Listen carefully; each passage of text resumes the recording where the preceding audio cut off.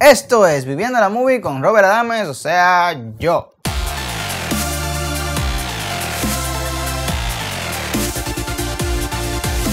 Hoy les voy a hablar súper breve de algo que hablé el año pasado, que básicamente quiero que vayan al Festival de Cine Global Dominicano, porque yo básicamente soy un vocero de que vayamos a los festivales y sobre todo al cine a ver películas en pantalla grande, que para mí es la razón por la que se creó el cine, para verse lo más grande posible, como una experiencia inmersiva por su tamaño gigante. Y este año tenemos el Festival Global de Cine Dominicano, que trae películas que normalmente no están en cartelera, hay muchas que después son escogidas para estar en cartelera un tiempo, pero es una oportunidad para ver películas que probablemente no vuelvan a estar en el cine. Sé que es un poco pesado decirles que vayan a ver una película si no tenemos mucha información de la película. Entonces, mi recomendación y lo que yo hice fue ver trailers, ver el póster y ver el género de la película. Dicho esto, vayan. Las mejores películas en los últimos años que yo he visto, la he visto en los festivales, o por lo menos las más diferentes. Y desen en chance, es del 30 de enero al 6 de febrero. Y creo que es una buena experiencia, sobre todo también para conocer gente de cine. Y hay una agenda, lo pueden buscar en la página. Esto es una publicidad no pagada. Y nada, no desaprovechen la oportunidad. Eso, vayan, vean, investiguen, googleen y kiklen.